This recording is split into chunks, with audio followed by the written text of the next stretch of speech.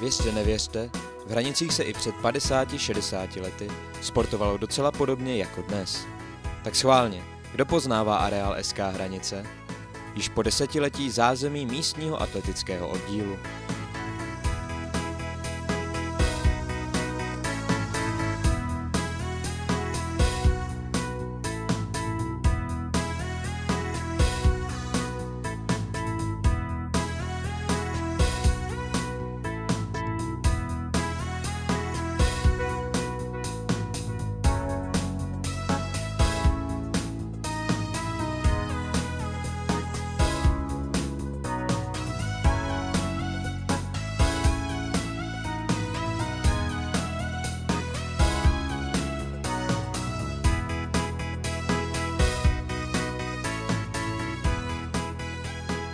Samozřejmě nesměl chybět ani fotbal.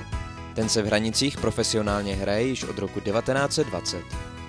Muži v současnosti nastupují ke svým zápasům ve čtvrté nejvyšší fotbalové soutěži. Do sezóny 2003-2004 se však SK Hranice dlouhé roky řadil k třetiligovým týmům.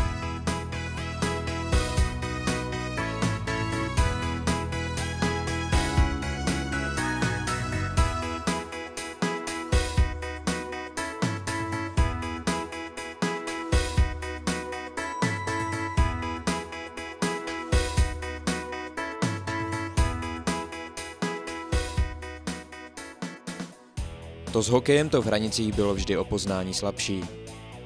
Jelikož zde nikdy nebylo k dispozici kryté kluziště, museli vzít kluci za vděk třeba i zasněženým pláckem před domem.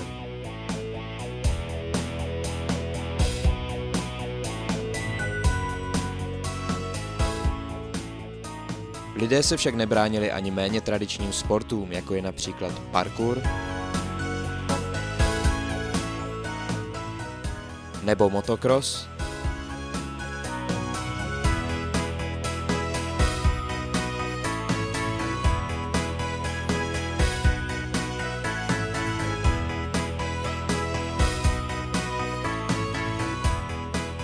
nebo tanec s kovovým něčím.